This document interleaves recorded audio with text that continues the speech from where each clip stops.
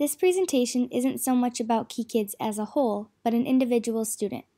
It focuses on a little boy who challenged me to dig deeper into certain situations so that I can not only learn about his behavior and possible reasoning behind it, but why and how I react to things as well. So let's jump right in.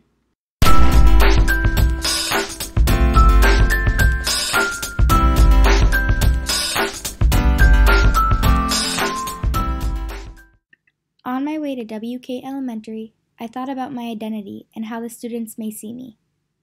To start off, I would identify myself as a white or Caucasian female. My family and I would identify into the middle class. Growing up, they provided me with food, clothing, shelter, and the occasional vacation. I went to a public school my whole life and had access to subjects and sports that I enjoyed. I grew up in a small town and community where I always felt happy, supported, and safe. I think it was middle school or early high school when we were assigned a paper where we had to identify our social class and the reasons we believe that we fell into it. That was probably the first time I thought deeply about my social class and where my family fit into. Lastly, I am identified as being able bodied. I have been working at Key Kids since September, so I have established at least the base of a relationship with most of the students. This meant that I needed to think about the students that I don't have as strong of a bond with and get to know them. I was thinking about my identity and how different it might be from how another child identifies, and that's what I wanted to explore. After school, the kids check in. They check into two separate groups. The younger kids, kindergarten through first grade, are in the cafeteria, and the older kids, second grade through fourth grade, are in the gym.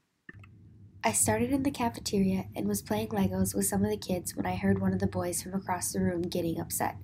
I know that I have to separate my work responsibilities from my volunteer responsibilities, so I calmly walked up to the boy and asked if he wanted to come play Legos. He agreed and walked with me as I asked him how his day was. He told me it was bad, so we talked about how we could turn his day around and we built a tower out of the Legos.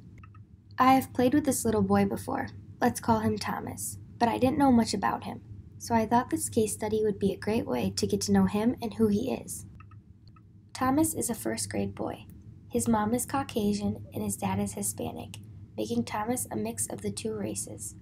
So far, that is already two different identities from mine sex and race.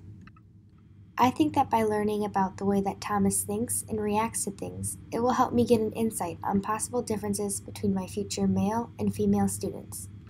When it comes to race, I grew up not being around many people of different cultural backgrounds because of my small town.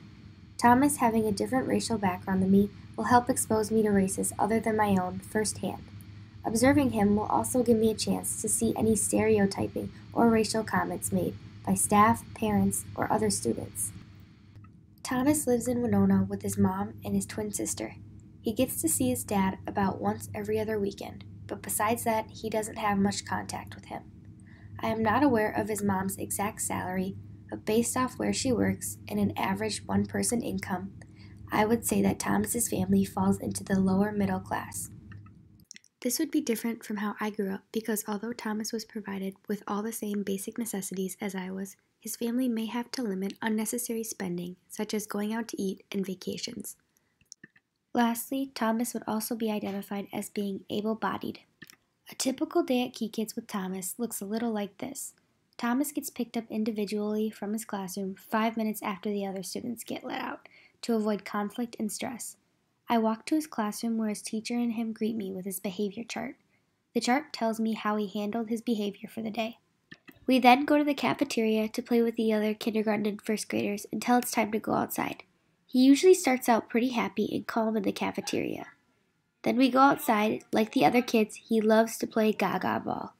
Just like other kids, Thomas also does not like to get out, so sometimes I need to remind him that he was hit and he can get back in next round to try again.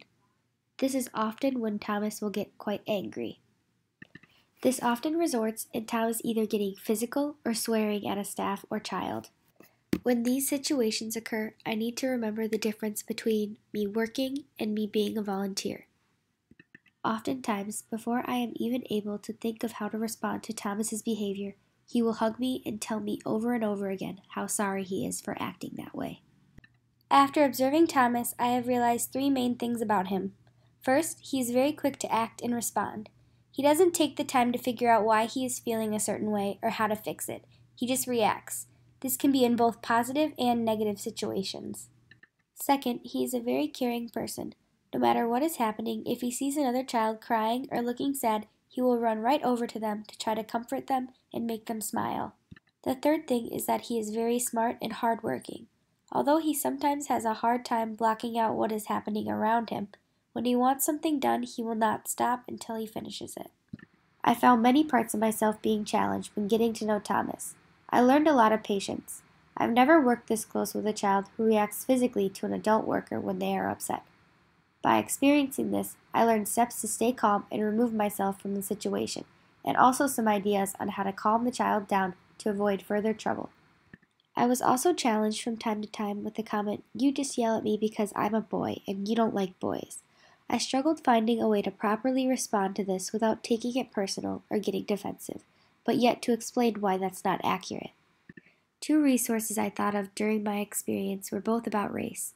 The first one was Revolutionary Talk Elementary Teacher and Students Discuss Race in a Social Studies Class by Jane, and the second was a video called Race The Power of an Illusion. The reason for this is based off of my limited exposure to other races growing up in my education environment. I've been around people of many different backgrounds now, but growing up, 95% of my classmates were white. This was a great experience that I believe really helped me see things from different people's point of view, and I'm excited to take what I learned into my own classroom someday. Thank you.